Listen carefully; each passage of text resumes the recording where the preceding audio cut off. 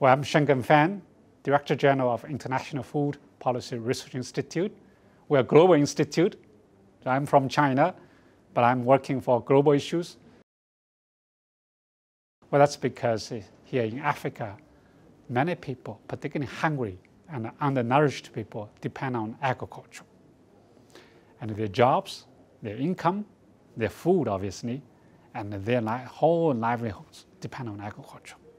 So that's why here in Africa, the agriculture is top priority. We cannot wait. So we can, we can wait for everything, but not agriculture.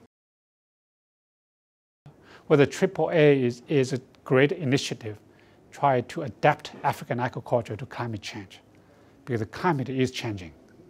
Our planet is getting hotter, and the precipitation, like rainfalls, will change.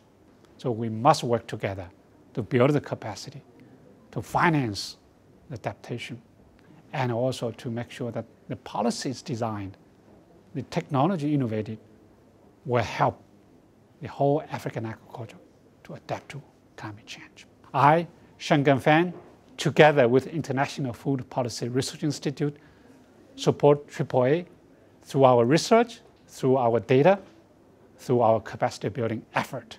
So we are part of the solutions. If we are not part of the solutions, then we will be part of the problem.